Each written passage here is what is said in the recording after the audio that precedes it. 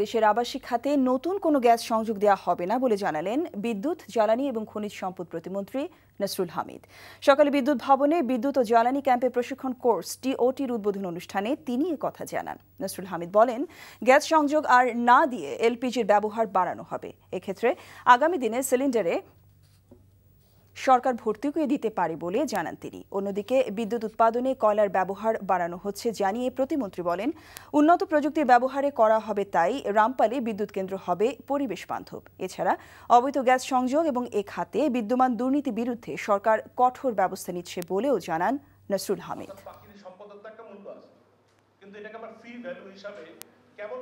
আমরা আবাসিক খাতে আর কোনো নতুন করে গ্যাসের কানেকশন পাইপ গ্যাসের কানেকশন দিব না। সুতরাং আমরা এখানে এলপিজিকে ব্যবহার করব। সরকার কিন্তু এই বিষয়ে আরও বেশি সচেতন যে আমরা যদি সিলিন্ডার গ্যাস ব্যবহার করি এবং সেটা যদি সাশ্রয়ী মূল্য আমরা দিতে নাও পারি, তাহলে এখানে আমরা সাবসিডি করব।